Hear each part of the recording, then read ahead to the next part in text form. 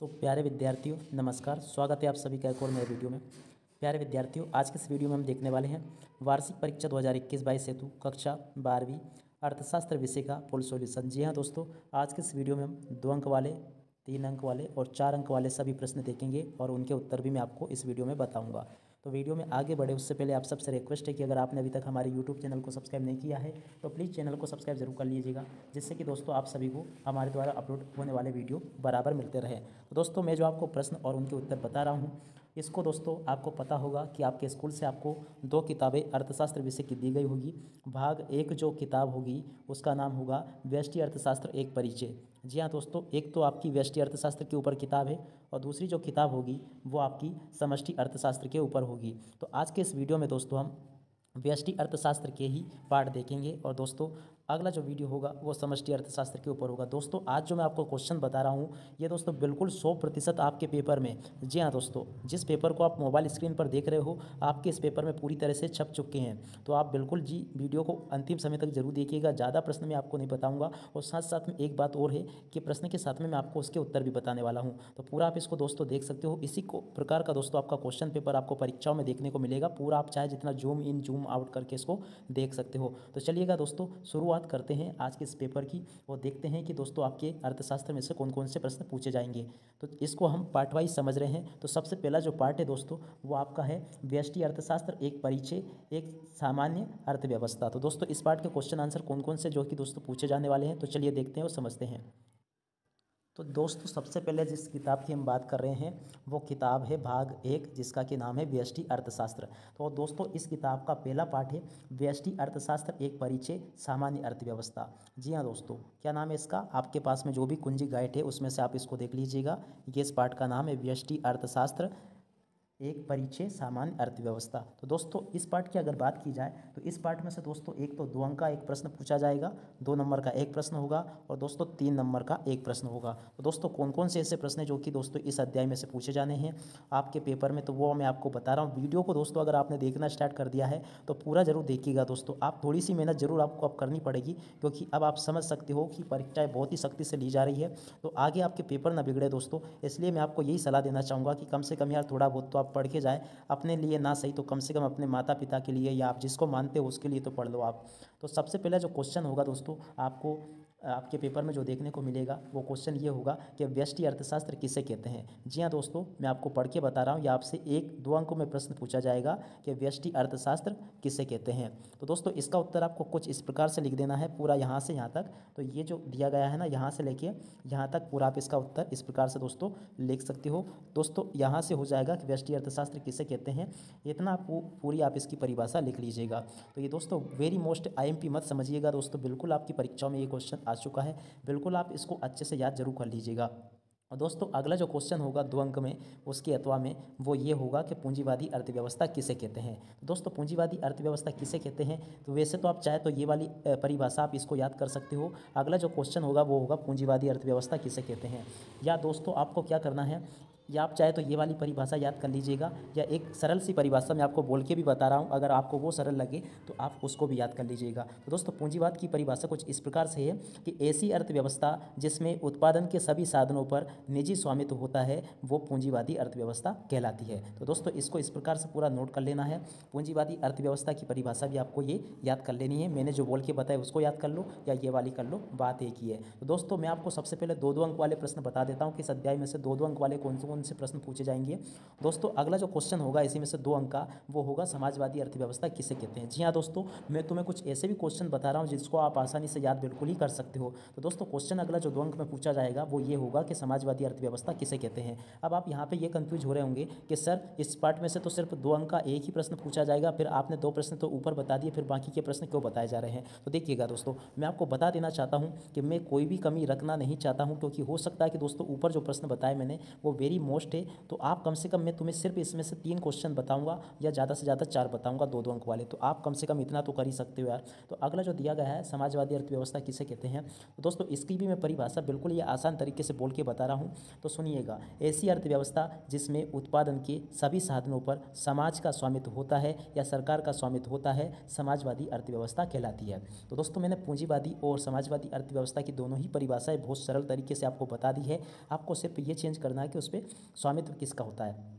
तो दोस्तों, समाजवादी अर्थव्यवस्था इस प्रकार से आपको देख लेनी है और अगला अगर क्वेश्चन की बात करें दो नंबर में तो मिश्रित अर्थव्यवस्था किसे कहते हैं? तो इसकी भी परिभाषा दोस्तों बहुत ही सरल है। तो इसकी परिभाषा आपको कुछ इस प्रकार से याद कर लेनी है कि ऐसी अर्थव्यवस्था जिसमें पूंजीवादी और समाजवादी दोनों अर्थव्यवस्थाएँ सम्मिलित रूप से पाई जाती है, मिश्रित अर्थव्यवस्था कहलाती है।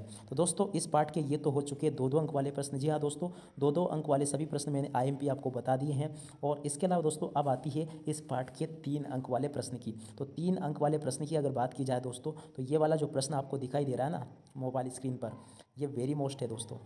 तीन अंक में ये बिल्कुल आपसे पूछा जाएगा, रट लो, रट्टा मार लो, नहीं तो फिर पेपर में बैठ के रोगे आपके सर ने जो बताया था वो हमने याद नहीं किया। तो बिल्कुल आप इसको अच्छे से रट जाओ। अभी तक जो हुआ है, आपने देखा होगा कि हिंदी के वीडियो में भी मैंने जो जो क्वेश्चन बताए थे, सौ प्रतिशत आए हैं और सौ प्रतिशत पूरे पेपर में मैंने मिलाल किया है। तो बिल्कुल आप उसी तरह से तैयारी कीजिएगा। तो आप आगे यहाँ पर देख सकते हो व्यष्टि अर्थशास्त्र और समष्टि अर्थशास्त्र में आपको अंतर याद कर लेने हैं। दोस्तों, ये मैंने बहुत सारे अंतर यहाँ से छाट के इसका स्क्रीनशॉट यहाँ पे ले लिया है। तो आपको दोस्तों जो जो अंतर सरल सरल लगते हैं, कम से कम आप चार अंतर याद कर ले दोस्तों इसमें से। इसमें से आपको क्या करना है कि कम से कम आपको चार अंतर याद कर लेने हैं व्यष्टि और समष्टि में। दोस्तों, एक बात और मैं आपको बता दूँ कि व्यष्टि जब अर्थशास्त्र हम समझ ही रहे हैं तो मैं इन दोनों का मतलब भी आपको बता देता हूँ। दोस्तों, व्यष्टि को अगर अंग्रेज़ी में कहे तो इसको कहते हैं दोस्तों माइक्रो माइक्रो का मतलब होता है सूक्ष्म, यानी कि छोटा, यानी कि ऐसा अर्थशास्त्र जो छोटी छोटी चीज़ों का अध्ययन करता है, उसको व्यष्टि अर्थशास्त्र कहते हैं। समष्टि का मतलब होता है दोस्तों अंग्रेज़ी में मैक्रो मैक्रो और माइक्रो इसको माइक्रो कहते हैं और इसको कहते हैं दोस्तों मैक्रो दोनों में फ़र्क यह है कि ये छोटा है और ये बड़ा है। इस आधार पे आप दोस्तों इसका अंतर आसानी से लिख सकते हो तो आप पूरा इसको देख लीजिएगा। व्यष्टि का मतलब छोटा होता है और समष्टि का मतलब व्यापक होता है, ये मैंने आपको बता दिया है। तो उम्मीद करता हूँ कि दोस्तों आपने इसको भी नोट कर लिया होगा अच्छे से। और दोस्तों, एक बात और मैं आपको बता देना चाहता हूँ कि आप जो हो, आर्ट्स सब्जेक्ट आपने लिया है और आर्ट्स सब्जेक्ट में दोस्तों लिखने की कला अगर आपके अंदर है, आपको क्या करना है कि टॉपिक को अच्छे से समझ लेना है, रटने की तरफ़ ज़्यादा ध्यान नहीं देना है। दोस्तों, टॉपिक को समझ के उसको अच्छे से लिख के आपको आना है। दोस्तों, अगला जो तीन नंबर का वेरी मेरी मोस्ट टाइम पे क्वेश्चन है, वो ये रहा व्यष्टि अर्थशास्त्र की विशेषताएँ बताइए। दोस्तों, अगर जिस समय भी इस, आप इस वीडियो को देख रहे हो, मैं आप सभी से कहना चाहता हूँ कि आप इन प्रश्नों को ज़रूर बहुत अच्छे से याद कर लीजिएगा। अगर आपने ये प्रश्न याद नहीं किएगा तो दोस्तों समझिएगा कि आप जो हो, काफ़ी चीज़ें मिस कर जाओगे और फिर पेपर में आप पछताओगे। दोस्तों, अगला जो क्वेश्चन दिया गया है, व्यष्टि अर्थशास्त्र की विशेषताएँ आपको याद कर लेनी है तो ये भी दोस्तों आपसे तीन अंक का पूछा जाएगा। और इसी के अलावा दोस्तों, अब ज़्यादा इसमें से कुछ भी याद आपको नहीं करना है, सिर्फ़ आपको इन्हीं चीज़ों को याद कर लेना है। दोस्तों, अभी तक हमने व्यष्टि अर्थशास्त्र वाला पार्ट देखा, पार्ट एक। दोस्तों, इस पार्ट में से आपको दो नंबर का एक प्रश्न आएगा और तीन नंबर का एक प्रश्न आएगा, जो कि मैंने आप सभी को बता दिए हैं। दोस्तों, अगला अगर बात की जाए तो अगला जो पार्ट होगा, वो होगा अपना उपभोक्ता के व्यवहार का सिद्धांत। तो दोस्तों, ये वाला जो पार्ट है, उपभोक्ता के व्यवहार का सिद्धांत तो इसमें से कौन कौन से प्रश्न जो कि दोस्तों आपकी परीक्षाओं में आने वाले हैं, वो भी हम देख लेते हैं। तो दोस्तों, इसमें अगर देखा जाए उपभोक्ता के व्यवहार का सिद्धांत तो इस वाले पार्ट के कौन कौन से ऐसे प्रश्न हैं दोस्तों, वो मैं आपको बता देना चाहता हूँ। तो सबसे पहला जो पार्ट का, इस पार्ट का जो प्रश्न होगा दोस्तों, मैं आपको बता देना चाहता हूँ। थोड़े बहुत ये पेज इधर उधर हो गए हैं, इस वजह से समझने में दिक्कत आ रही है। तो आप देख सकते हो दोस्तों, अगला जो पार्ट होगा, उस पार्ट का नाम क्या है, मैं आपको यहाँ पर लिख के बता देना चाहता हूँ। वो यहाँ से शुरू होता है। आप इस चीज़ के ऊपर ध्यान मत दीजिएगा। तो देखिएगा दोस्तों पार्ट कुछ इस प्रकार से है आपका। आपको क्या लिख लेना है? उपभोक्ता के व्यवहार का सिद्धांत। क्या प्रश्न होगा दोस्तों? उपभोक्ता के व्यवहार का सिद्धांत। ये पार्ट का नाम होगा दोस्तों। अब आगे अगर देखा जाए तो इसमें से कौन कौन से प्रश्न हैं दोस्तों जो कि आपसे पूछे जाने वाले हैं? तो दोस्तों, इस पार्ट में से आपसे एक तो दो अंक का प्रश्न पूछा जाएगा और एक दोस्तों चार अंक का प्रश्न पूछा जाएगा। अगर दो अंक वाले प्रश्नों की बात करें तो एक तो प्रश्न ये याद कर लो आप कि पूर्ति किसे कहते हैं या पूर्ति से क्या तात्पर्य तो इस प्रश्न को आप बिल्कुल अच्छे से याद कर लेना। और दोस्तों, इसके अलावा कुछ प्रश्न और बता रहा हूँ मैं आपको दो अंक वाले तो आप उनको ज़रूर अच्छे से याद कर लीजिएगा। दोस्तों, अगला प्रश्न ये है कि मांग किसे कहते हैं? तो दोस्तों, निश्चित सीमा में मांगी गई मात्रा को मांग कहते हैं। इस प्रकार से आप इसका उत्तर भी लिख सकते हो। तो दोस्तों, अगर दिया जाए तो आप यहाँ पर देख सकते हो मांग किसे कहते हैं तो ये वाली परिभाषा भी आप मांग की लिख सकते हो। दोस्तों, आपको इस अध्याय में से क्या करना है? दो प्रश्न तो ये याद करना है कि मांग किसे कहते हैं और पूर्ति किसे कहते हैं। दोनों ही प्रश्न दोस्तों very very most I M P जो कि दो दो अंक में पूछे जाएँगे। अब आगे बढ़ते हैं। आगे अगर देखा जाए तो मांग के प्रकार आपको बताने हैं। मांग के प्रकार दोस्तों तीन होते हैं। एक तो होती है कीमत मांग, दूसरी होती है आई मांग और तीसरी होती है आड़ी मांग। तो आपको इन तीनों मांगों को समझ लेना है। कीमत मांग क्या होती है दोस्तों? कीमत मांग वस्तु की कीमत में बढ़ने घटने से जो परिवर्तन होता है उसको कहते हैं कीमत मांग। और अगली आय मांग क्या होती है दोस्तों? कि जब उपभोक्ता की आय में जब बढ़ोतरी होती है उससे जो मांग बढ़ जाती है उसको कहते हैं आय मांग। और आड़ी मांग क्या होती है दोस्तों? आड़ी मांग मत, का मतलब ये होता है कि जब हम किसी एक वस्तु की जगह पर दूसरी वस्तु साथ में खरीदना चाहे। क्या लिखा है? आड़ी मांग से अभिप्राय अन्य बातें समान पर किसी वस्तु, सेवा की उन विभिन्न मात्राओं से जो संबंधित वस्तुएँ सेवाओं की विभिन्न मात्राओं का परिवर्तन होने से उपभोक्ता द्वारा खरीदी जा रही है। आड़ी मांग से मतलब ये है कि जैसे कि आप समझ सकते हो, जैसे कि किसी ने बीड़ी का बंडल लिया, यानी कि उसको सिगरेट पीना तो साथ में उसको माचिस भी लेना पड़ेगा। इसको आड़ी मांग कहते हैं। अब अगर देखा जाए दोस्तों तो यहाँ पर दो अंक में ये दो प्रश्न और बिल्कुल आपको अच्छे से समझ लेना है। प्रतिस्थापन वस्तुएँ किसे कहते हैं? ये दोस्तों, बिल्कुल आपसे दो अंक में पूछा जाएगा। क्या प्रश्न है दोस्तों? प्रतिस्थापन वस्तुएँ किससे कहते हैं? तो दोस्तों, प्रतिस्थापन वस्तुएँ किससे कहते हैं? तो क्या लिखा है? आप इसको ऐसे लिख सकते हो, ऐसी वस्तुएँ जिनको एक दूसरे के स्थान पर प्रयोग किया जा सकता है, प्रतिस्थापन वस्तुएँ कहलाती है। इसकी परिभाषा आप चाहे तो ये वाली याद कर सकते हो, या जो मैं बोल के बता रहा हूँ, वो वाली भी आप याद कर सकते हो। कैसी वस्तुएँ? ऐसी वस्तुएँ जिनको एक के स्थान पर दूसरी का उपयोग किया जा सकता है, उसको हम प्रतिस्थापन वस्तु कहते हैं। मान लिया कोई चाय का ज़्यादा शौकीन है तो दोस्तों चाय की जगह कभी कभी कॉफ़ी भी पी लेता है, और उसी प्रकार से मान लिया दोस्तों कि कोई बीड़ी का नशा करता है, यानी कि कोई व्यक्ति बीड़ी पीता है, अब बीड़ी की जगह दोस्तों कभी कभी सिगरेट से भी अपना काम चला लेता है। तो दोस्तों, इस प्रकार की मांग को कहते हैं प्रतिस्थापन इस प्रकार की वस्तुओं को कहते हैं प्रतिस्थापन वस्तुएँ।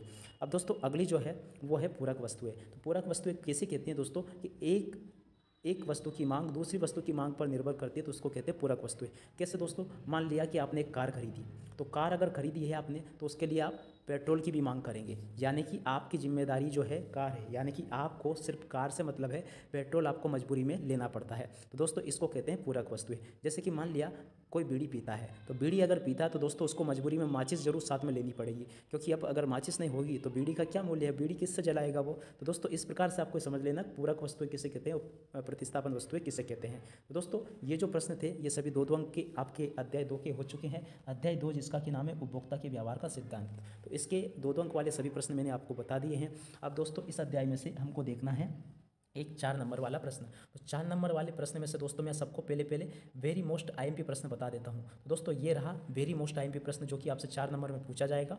मांग के नियम की मान्यताएँ लिखिए। तो दोस्तों मांग के नियम की मान्यताएँ क्या है? ये पूरी आपको लिख लेनी है। सबसे पहले तो मैं मैं आपको मांग का नियम समझा देता हूँ, मांग है क्या? तो दोस्तों इस पार्ट में से आपकी जो पूरा टोटल ओवरऑल है, वो दो ही शब्दों की चर्चा की गई है दोस्तों, एक तो मांग और एक पूर्ति।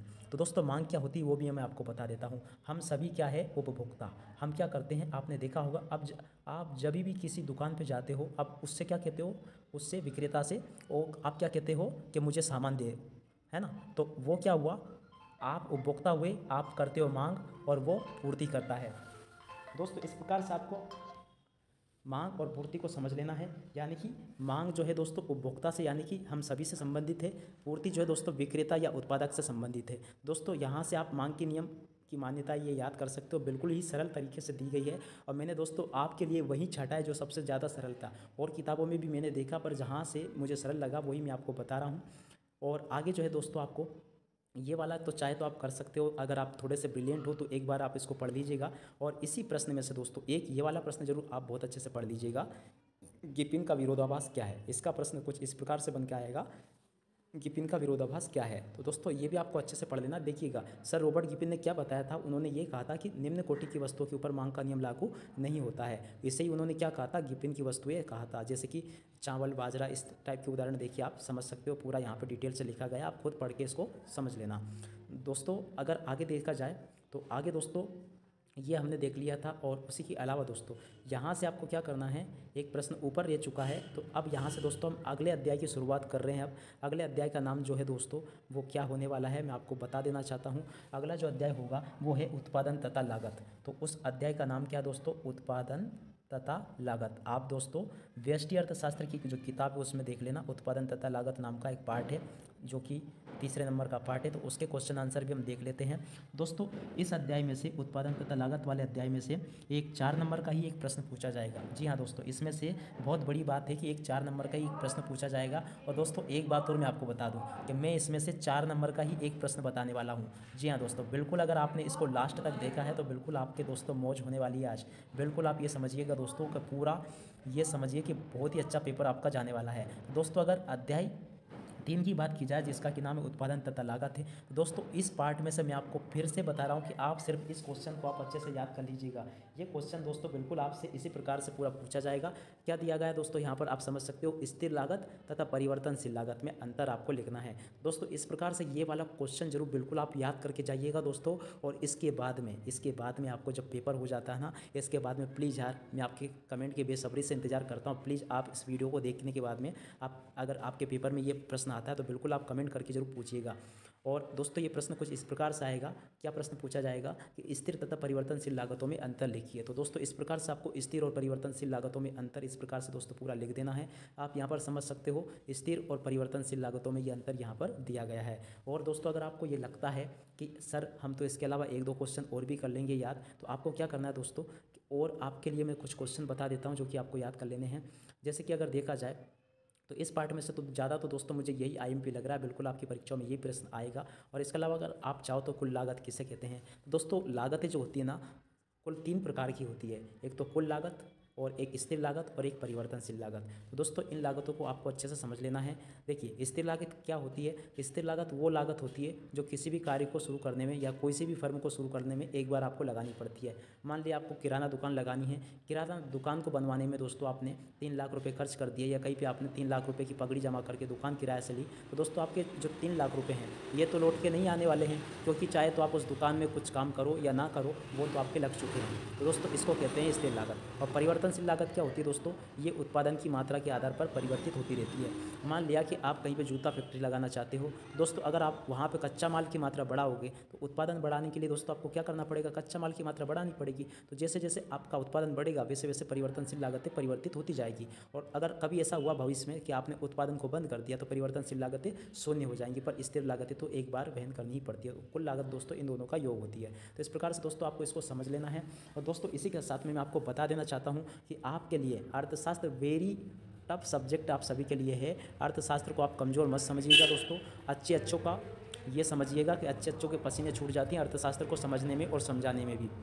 तो इसलिए मैंने जो क्वेश्चन बताए हैं दोस्तों, इनको आप बहुत अच्छे से याद ज़रूर कर लीजिएगा। और साथ ही दोस्तों, आपको मैं एक बात बता देना चाहता हूँ कि दोस्तों, ये जो अर्थशास्त्र का वीडियो मैंने बनाया है, ये सिर्फ़ पार्ट वन है। जी हाँ दोस्तों, ऐसे आपको चार पार्ट मिलेंगे। पार्ट वन हो चुका है और अगला जो होगा दो, तीन और चार। दोस्तों, अगले तीन वीडियो बहुत ही जल्दी मैं अपलोड करने की कोशिश करूँगा, क्योंकि दोस्तों, मुझे भी प्रश्न छाटने में थोड़ा परेशानियों का सामना करना पड़ रहा है, क्योंकि दोस्तों, आप सभी को, आप सभी के भविष्य का सवाल है तो इसलिए मैं आपको भी कहीं से उठा के कुछ भी नहीं बता सकता हूँ। काफ़ी मेहनत करके आप लोगों के लिए प्रश्न मैं अपने अनुभव के आधार पर छाटता हूँ और तब जाके मैं आप लोगों के लिए वीडियो बनाता हूँ। दोस्तों, आपको ये वीडियो कैसा लगा? अगर आपको पसंद आया है तो प्लीज़ यार एक प्यारा सा कमेंट ज़रूर कर दीजिएगा। इसी के साथ में दोस्तों, मैं मिलता हूँ अगले वीडियो में। दोस्तों, अगले वीडियो भी आपको जल्द ही प्रोवाइड करवा दिए जाएँगे, तब तक आप इन क्वेश्चन को ज़रूर बहुत अच्छे से याद कर लीजिएगा। जो जो मैंने वेरी मोस्ट बताए हैं, बिल्कुल दोस्तों, आपकी परीक्षाओं में यही क्वेश्चन बैठने वाले हैं। दोस्तों, इसी के साथ में इस वीडियो से मैं विदा लेता हूँ। नमस्कार।